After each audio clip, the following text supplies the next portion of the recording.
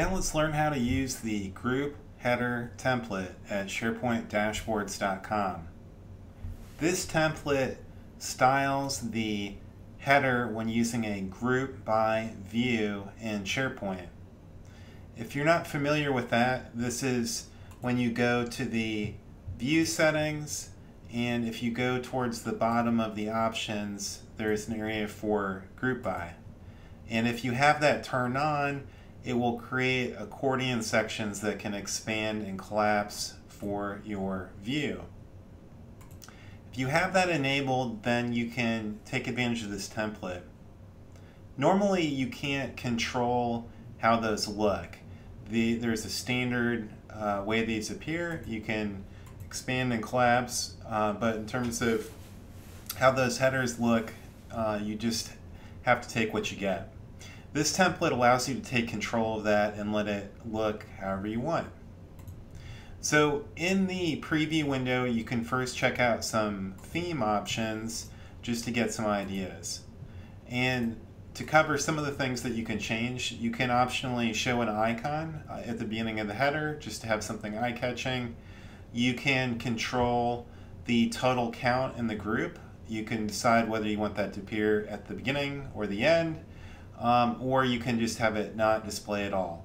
And then you can optionally decide whether you want to show a label for the field that you're grouping by, um, as well as many different color options, uh, border, uh, shadow behind, font size, etc.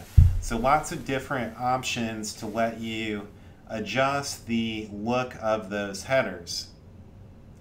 I'm going to go ahead and use this second theme option and I am ready to go. I just need to click on copy template and then I'm going to click on the OK box after I've read my instructions. And now I can come back over to SharePoint and I'm going to click on the view selector and then I need to select format current view then click on advanced mode. In that window you just paste in the code and hit save. And just as we saw in the preview, I can see that uh, showing up in SharePoint. Now there's some special options here. You may want to suppress the standard column headers and you also may not want this uh, selection row to be visible if you want to clean up the view a little bit. And there are options to make that hidden. So these options for so, show selection and show header can be adjusted to suppress that part of the layout. So let's go ahead and take a look at the difference there. So if I come back over here, there, you'll notice the top's gone and the side's gone. So um, this is just a way to clean things up. Now this template is nice in a situation where you may want to do an FAQ or some kind of informational page um, to make it look nice.